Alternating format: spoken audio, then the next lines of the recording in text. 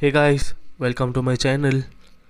Today let's talk about Bengaluru races taking place on 30th Jan 2020.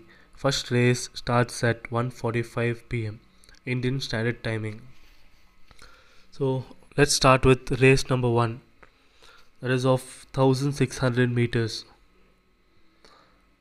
So my prediction is horse number 6 High Priestess ridden by David Allan.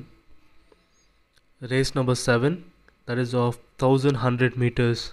My prediction is horse number 11 Astron ridden by Irvan Singh. Race number 3 that is of 2000 meters.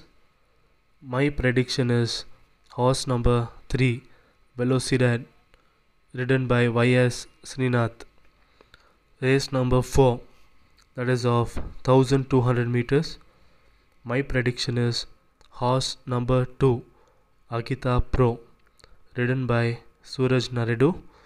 I have a fluke in that race that is horse number 3 Depth Charge ridden by K Raghu. Race number 5 that is of 1400 meters. My prediction is horse number 3 Vizo ridden by Shamash Sharif.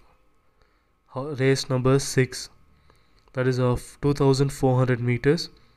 My prediction is horse number 1 Ambri- Ambrosio ridden by Trevor Patel.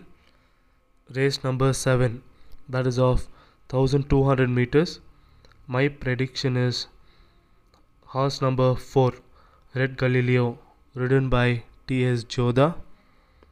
Race number 8 that is of 1200 meters. My prediction is horse number 9 Wings of Desire ridden by Trevor Patel. Thank you.